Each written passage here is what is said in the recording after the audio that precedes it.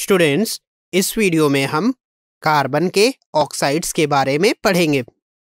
हम यह जानते हैं कि कार्बन के दो ऑक्साइड्स होते हैं, जिसमें पहला ऑक्साइड होता है कार्बन मोनोऑक्साइड, जो कि कार्बन के इनकम्प्लीट कंबशन से बनता है। या फिर कहें कि अगर हम कार्बन को लिमिटेड सप्लाई ऑफ़ ऑक्सीजन में ऑक्सीडाइज करते हैं तो हमें कार्बन मोनोऑक्साइड मिलता है, जिसे हम इस रिएक्शन की हेल्प से समझ सकते हैं। यदि हमें प्योर कार्बन मोनोऑक्साइड बनाना है तो हम फॉर्मिक एसिड का डिहाइड्रेशन कंसनट्रेटेड H2SO4 की हेल्प से करते हैं, जिसे हम इस रिएक्शन की हेल्प से समझ सकते हैं। जबकि कॉमर्शियल स्केल में कार्बन मोनोऑक्साइड को हम हॉट कोक के ऊपर स्टीम पास कर कर बनाते हैं, जिसे हम इस रिएक्शन के हेल्प से समझ सकते हैं। यहाँ पर हमें कार्बन मोनोऑक्साइड और हाइड्रोजन गैस का मिक्सचर मिलता है। इस मिक्सचर को हम वाटर गैस या फिर सिंथेसिस गैस कहते हैं। और इसको हम इंडस्ट्रियल फ्यूल के तौर पर काफ़ी वाइडली यूज़ करते हैं। ऑर्गेनिक केमिस्ट्री में इस मिक्सचर की हेल्प से हम बहुत सारे ऑर्गेनिक कंपाउंड्स को बनाते हैं। इसीलिए इसको हम सिंथेसिस गैस भी कहते हैं। चलिए, अब हम बात करते हैं कार्बन मोनोऑक्साइड की कुछ प्रॉपर्टीज़ की। कार्बन मोनोऑक्साइड कलरलेस ऑर्डरलेस और वाटर में इंसॉल्युबल गैस होती है।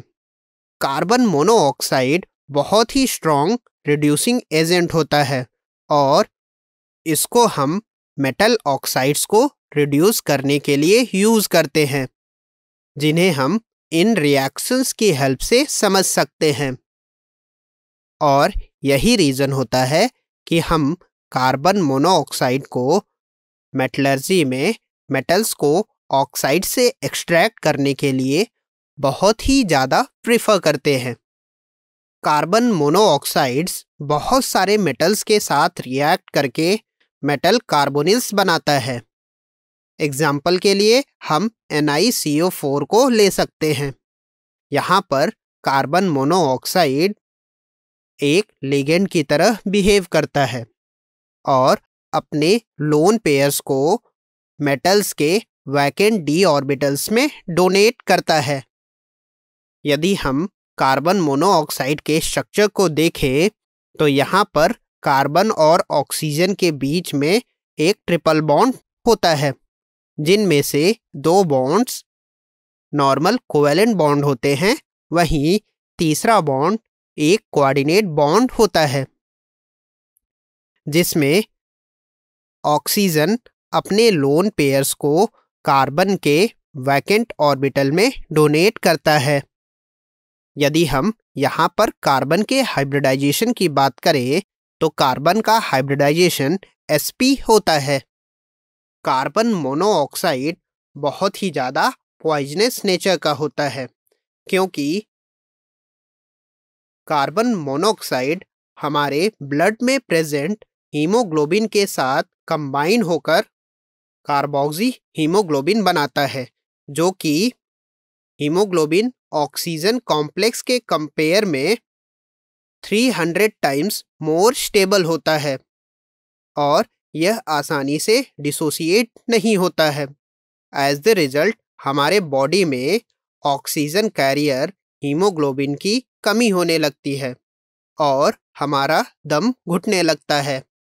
ज़्यादा टाइम तक कार्बन मोनोऑक्साइड के इन्वायरमेंट में रहने से हमारी डेथ भी हो सकती है।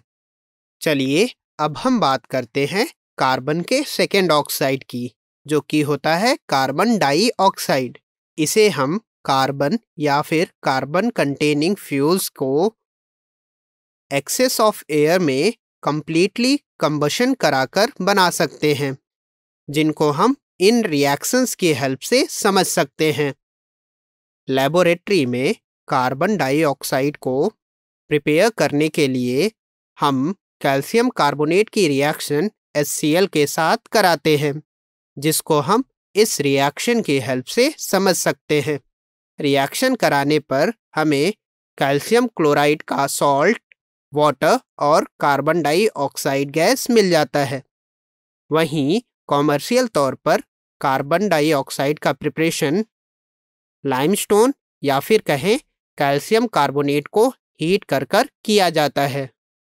चलिए अब हम बात करते हैं कार्बन डाइऑक्साइड के कुछ प्रॉपर्टीज़ की। यह एक कलरलेस और ऑर्डरलेस गैस होती है। वाटर में इसकी सॉलिबिलिटी बहुत कम होती है, या फिर कहें, यह वाटर में स्पेरेंजली सॉलिबल होता है। वाटर के साथ रिएक्ट कर कर यह कार्बोनिक एसिड या फिर कहें H2CO3 बनाता है। जो कि एक वीक एसिड होता है। सॉल्यूशन में कार्बोनिक एसिड डिसोसिएट होकर हमें बाइकार्बोनेट आयन और कार्बोनेट आयन के साथ साथ H प्लस आयन देता है और इसी फॉर्म में ये सॉल्यूशन में प्रेजेंट भी होते हैं।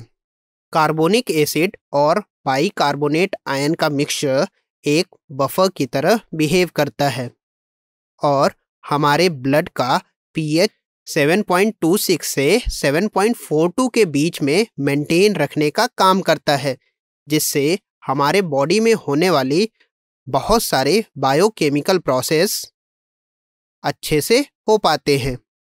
यदि हम कार्बन डाइऑक्साइड की रिएक्शन बेस के साथ कराते हैं तो वो मेटल कार्बोनेट बनाते हैं।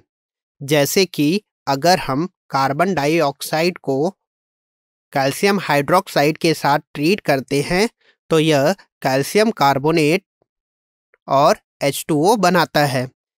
यहाँ पर कैल्शियम कार्बोनेट सॉल्यूशन से मिल्की वाइट फॉर्म में प्रेसिपिटेट होता है और इसीलिए हम इस रिएक्शन को कार्बन डाइऑक्साइड के टेस्ट के तौर पर भी यूज़ करते हैं। यह रिएक्शन कार्बन डाइऑक्साइड के एसिडिक नेचर को भी एक्सप्लेन करता है। फोटोसिंथेसिस में प्लांट्स कार्बन डाइऑक्साइड को एब्जॉर्ब करके हमें ग्लूकोज और ऑक्सीजन गैस देते हैं, जिसे हम इस रिएक्शन की हेल्प से आसानी से समझ सकते हैं और इस तरह से हमारे एटमॉस्फेयर में कार्बन डाइऑक्साइड का एक अमाउंट फिक्स रह पाता है। अगर एटमॉस्फेयर में कार्बन डाइऑक्साइड का अमाउंट इंक्रीज कर जाता है तो यह ग्रीन हाउस इफ़ेक्ट कॉज करता है, जिसके रिज़ल्ट के तौर पर अर्थ का टेम्परेचर ग्रेजुअली इंक्रीज हो रहा है और अर्थ पर प्रेजेंट बहुत सारे ग्लेशियर्स काफ़ी तेज़ी से पिघलने स्टार्ट हो गए हैं। यदि हम कार्बन डाइऑक्साइड के रेजोनेटिंग स्ट्रक्चर्स की बात करते हैं तो वो हमें कुछ इस तरह से मिलते हैं, जिसमें कार्बन और ऑक्सीजन के बीच present pi bond more electronegative atom oxygen पर शिफ्ट हो जाते हैं और हमें कुछ इस तरह के स्ट्रक्चर्स देते हैं। फिर ऑक्सीजन के लोन पेयर्स वापस बैक अटैक कर कर हमें कुछ यह स्ट्रक्चर दे देता है।